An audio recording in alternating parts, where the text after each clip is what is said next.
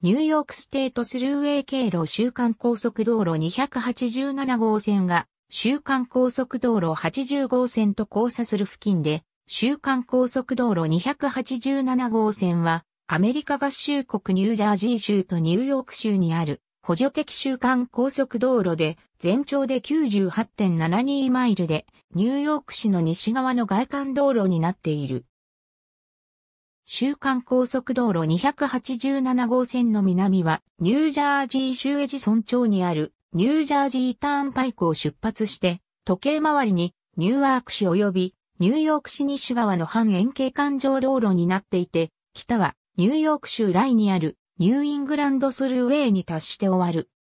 I-287 は出発点のニュージャージー州ではまず西へ向かい、次に国道202線で、それから別れてクロスウエスチェスター高速道路を行き、I-95 に達する。ありがとうございます。